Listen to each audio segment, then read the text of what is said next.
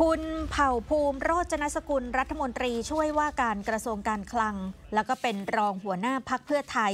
ชี้แจงเจตนาของคุณแพทองทานชินวัตรหัวหน้าพักเพื่อไทยว่า เป็นสิทธิ์โดยชอบ และเป็นเจตนาที่จะตั้งคำถามถึงประสิทธิภาพในการทำงานของธนาคารแห่งประเทศไทยค่ะ ซึ่งมองว่าความเป็นอิสระของแบงก์ชาติ อาจจะเป็นอุปสรรคในการแก้ไขปัญหาเศรษฐกิจนะคะ และยังได้ตั้งคำถาม 3 ข้อ เป็นความกังขาในความอิสระของแบงก์ชาติ มาพร้อมกับกรอบเงินเฟอ้อที่หลุดกรอบไม่เป็นไปตามข้อตกลงหรือไม่ ระดับดอกเบี้ยนโยบายที่ไม่เหมาะสมหรือไม่ ธนาคารกลางไม่สามารถรักษาเงินเฟอ้อให้อยู่ในกรอบ จะหลุดกรอบถึงสิ้นปีนี้หรือไม่ค่ะ ซึ่งทางคุณเผ่าภูมิก็อ้างถึงกระทรวงการคลังที่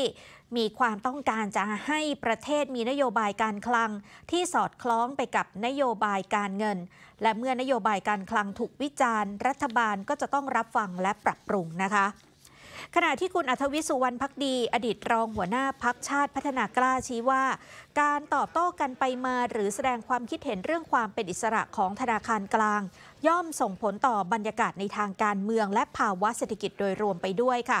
โดยระบุว่าตามหลักสากลแล้ว รัฐบาลไม่ควรจะส่งสัญญาณแก้กฎหมาย ควบคุมนโยบายการเงิน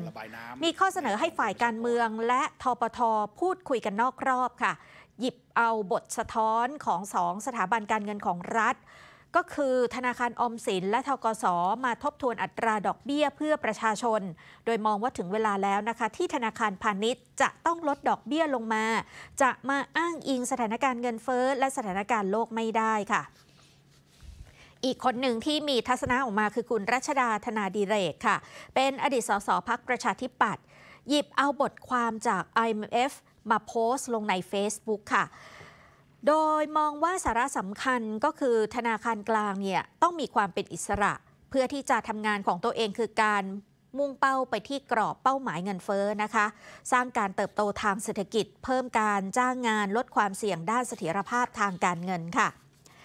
มีรายงานข่าวจากทปทนะคะ อ้างอิงถึงกฎหมายทปทมาตรา 28 ทับ 19 วรรค4และวรรค5กรณีครมมีมติให้ผู้ว่าการทปทออกจากตำแหน่ง ตามคำแนะนำของรัฐมนตรีว่าการกระทรวงการคลัง ต้องมีเหตุผลเรื่องของความประพฤติเสื่อมเสียอย่างร้ายแรง หรือทุจริตต่อหน้าที่ แต่ก็ไม่ใช่เรื่องง่ายนะคะ เพราะจะต้องระบุเหตุผลในการสั่งปลด และมีข้อพิสูจน์ได้จริงค่ะ จึงเป็นไปได้ว่าเหตุโต้กลับจะเป็นส่วนหนึ่ง ในข้ออ้างอิงให้ฝ่ายการเมืองเสนอแก้กฎหมายทปท เพื่อเพิ่มอำนาจการกำกับดูแล ลดความอิสระลงไป รวมทั้งรับผิดชอบ